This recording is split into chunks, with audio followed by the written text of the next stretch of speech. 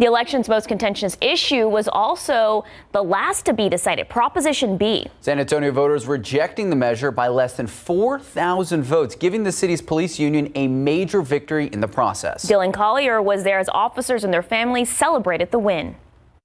Union President Danny Diaz taking a cautious approach, waiting until almost 11:30 to claim victory, even after it had become clear that the noes would take it. If the ballot measure had passed, officers would have been stripped of their ability to collective bargain, a scenario that Diaz said would have had devastating consequences for the department. My goal is to let the citizens see that we're getting back into the community. Uh, it's going to take some time. Fix SAPD, the grassroots reform group, came oh so close. Its members still in a celebratory mood, despite trailing the entire night and eventually falling short. San Antonio is hungry for change.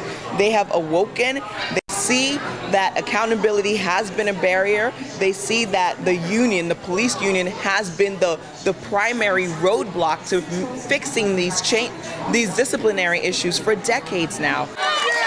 Now, with the proposition taken down, Diaz says they'll return their focus to contract talks with the city negotiating team. We're not stepping away. Uh, we're, we're set the meeting date up.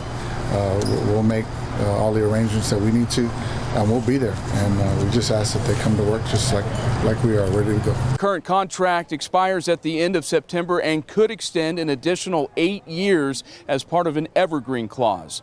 Reporting on the west side, Dillon Collier, KSAT 12 News.